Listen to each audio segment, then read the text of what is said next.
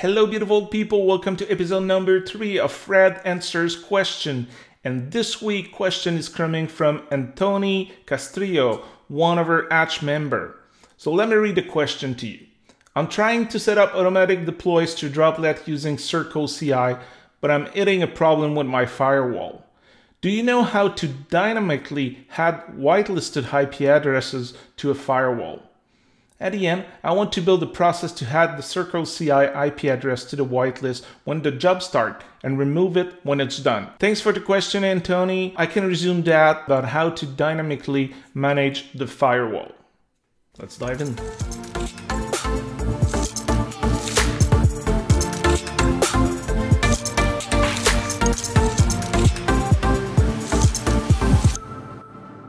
First, IT approach is probably the most secure one, even if it means a little more automation on your side. So outside of using the dashboard to manage the rule from your firewall, there's two other options for you. First, there's API.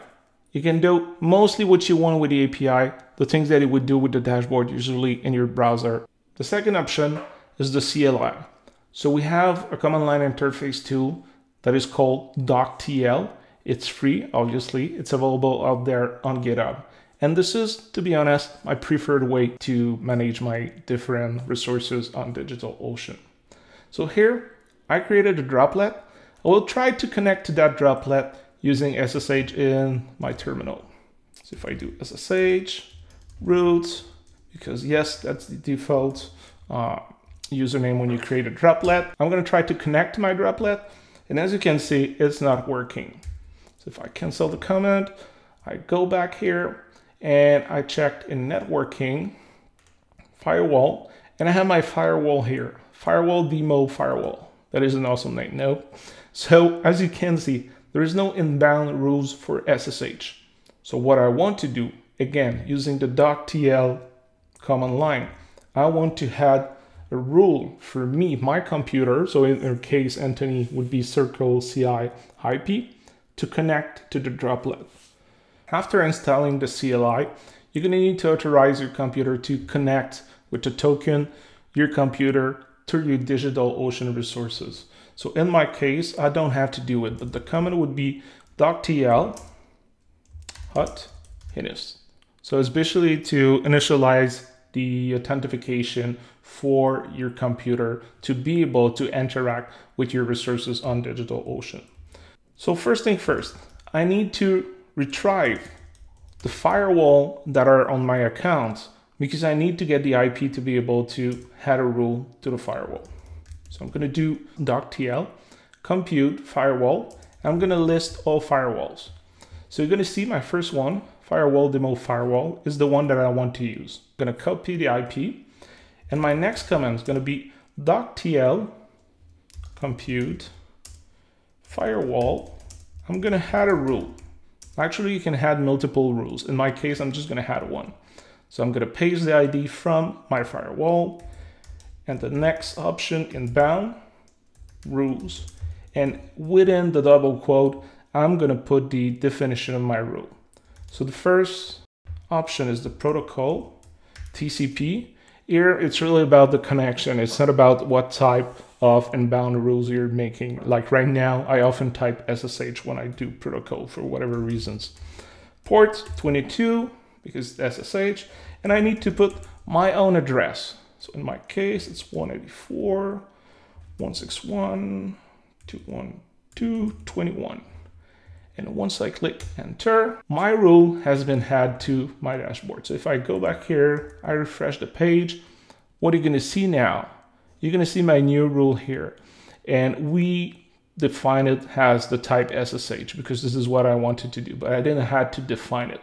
So right now, if I do again, go back with my command here, and I do SSH root at, I'm going to be able to connect to my computer. So now it's good. I added a rule that gave access to my computer only to that specific droplet that are using that firewall. One of the things you can do with firewalls is that you can use the same firewall for multiple droplets. So in our case, if I want to deploy different things on multiple droplets or interact with multiple droplets, I can have that firewall being assigned to multiple droplet. Also remember, if you have no firewall, quote unquote, connected to or associated to your droplet, every connection that is coming in or out will be accepted. So it's why the first thing you should always do after creating a droplet is probably to create a firewall. So now I created my rule. I want to remove it because I've done everything I needed to do with the droplet. So in my case, it's type the exact comment but instead of using the add rules option, I'm going to use the remove rules option. If I click enter, my rule shouldn't be there anymore. So if I refresh here, you're going to see that the SSH is gone. And if I try to SSH into my droplet, it's not working anymore. One of the things that happen often is that if you only have one rule on your firewall, you cannot delete that rule. So if you try to delete it, you're going to get an error message. The second way to do that is to use the API. So one of the first thing I need to do to connect my computer again and being able to do some REST API requests is to go to API and I need to create a token.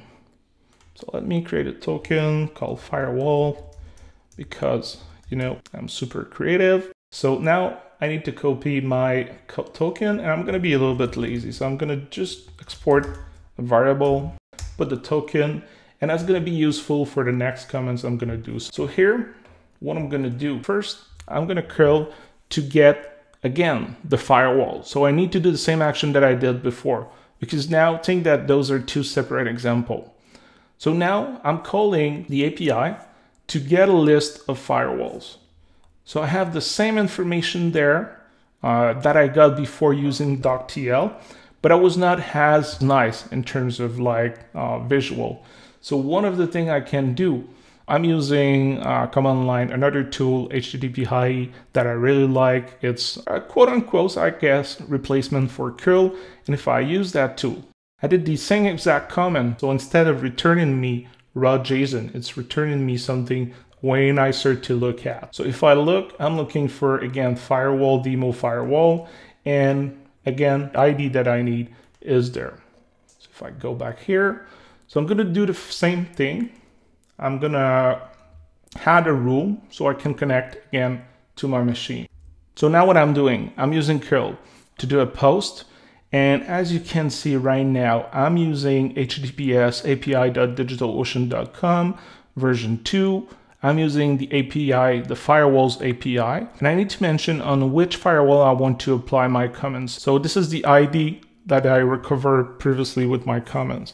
And I'm using the dash role endpoint. I'm sending the headers, and the important part, or the most important part, is what I'm sending with my HTTP call. So again, a little bit of the same that I did previously. The only difference is that now it's some JSON that I'm sending. So I'm going to see the inbound rules that I want to add. The protocol is TCP, the port is 22, and the source, which is some addresses. In my case, it's only one, it's my IP. And if I run that comment, you will see that now if I go back to my dashboard and if I refresh, you're going to see that I have my new rule there. So again, if I do sage you're gonna see I am able to connect to my droplet. So now if I want to remove the rule that I just had, so I'm gonna do the same exact comment, but I'm gonna use delete instead. So refreshing, go back to my browser, I refresh, and boom, no more SSH uh, rule in my firewall. So if I try to connect, again, it's not working. I use curl, the go to curl to do those example, but you can use any tool you want. Uh, the API is probably the more streamlined way to do that because it's really raw access to the digital ocean resources. But again, the doctl, the CLI is really, I guess, a more nicer way to do it so you can have access to the API documentation. It's available online. Uh, we'll put the link in the resources. It's at developers.digitalocean.com slash documentation. And you can also access to the CLI documentation, but also the repository. It's open source on GitHub at github.com slash digitalocean slash D-O-C-T-L. So with those in mind, whether you use the API or the command line interface, you are able to do some automation with the firewall. And this was one example. But if you look at the documentation, you have access to a lot more. And this is the way to go to do any type of automation with your DigitalOcean resource. So that's it for today. Thanks for watching. Make sure to subscribe so you don't miss future FAQ episode and add your comments to this episode below. Also, don't forget to send your questions using the link below. In the meantime, check our YouTube channels because there is a lot of amazing content. So on that note, see you next week.